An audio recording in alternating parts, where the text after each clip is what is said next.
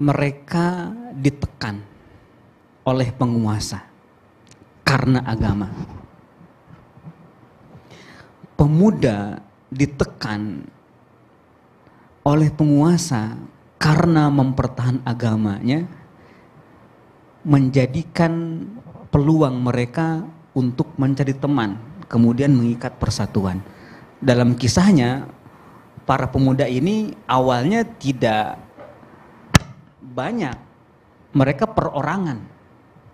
Lalu bertempur di suatu tempat tanpa disengaja. Lalu membentuk dan tidak saling kenal dan tidak saling kenal antara satu sama lain. Yang menjadikan mereka kuat sampai terbentuk menjadi al-fityah satu jama yang tidak bisa dipisahkan kelompok yang tidak bisa dipisahkan karena yang mengikat mereka adalah iman luar biasa ya pemilihan katanya al-fityah al-fityah ya. jadi kesatuan yang tidak banyak tapi tidak bisa dipisahkan. Tidak bisa dipisahkan. Jadi untuk menang melakukan perubahan nggak harus banyak. Yang penting kuat. persatuan yang persatuan kuat. yang kuat. Dan berpegang kepada tali Allah di situ iya. maksudnya. Ya. Dan tidak harus saling mengenal pada awalnya. Ya. Tidak saling mengenal pada awalnya, tetapi Allah yang memperkenalkan di antara mereka al arwah, ya, junud mujannada. Allah yang perkenalkan mereka dan diikat dengan keimanan yang sama. Betul. Nah, di situ bukanlah kemudian mereka menjadi lengah kepada Allah. Karena biasanya anak muda tadi sebagai disebutkan oleh Ustaz, biasanya kalau sudah berkumpul siap tempur. Yeah. Karena mati di jalan Allah itu syahid. Yeah. Jadi tidaklah demikian pemuda ini. Dia mencari tempat yang dapat menghubungkan mereka dengan Allah lebih dekat. Jadi ketika bersatu itu harus nyari tempat dan tempat ini pun juga standarnya adalah kedekatan dengan Allah. Bagaimana tempat ini bisa menjadi fasilitas lebih dekat mereka dengan Allah.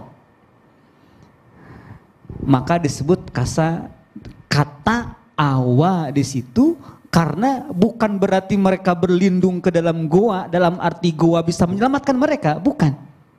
Yang menyelamatkan mereka Allah. Adapun goa itu menjadi tempat mereka lebih dekat dengan Allah. Jadi ingat, bersembunyi ke dalam goa, berlindung ke dalam goa bukan goa yang menyelamatkan, tetapi Allah. Perubahan terjadi. Enggak mungkin perubahan terjadi begitu saja pasti ada pemuda-pemuda di luar gua yang melakukan gerakan.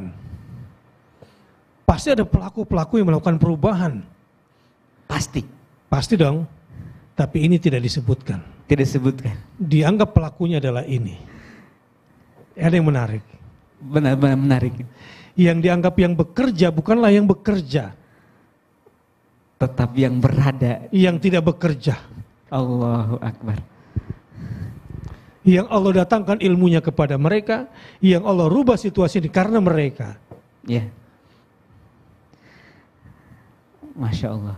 Situasi yang sedang berubah dan sudah berubah itu pasti ada pelakunya. Tapi semua ini dengan motif-motifnya bukan Allah. Kerja-kerja yang bukan mencari rahmat Allah. Kerja-kerja yang sebetulnya Allah yang kasih perubahan tapi bukan karena usaha mereka tapi karena permintaan orang yang kembali kepada Allah kepada Allah subhanahu, subhanahu wa taala.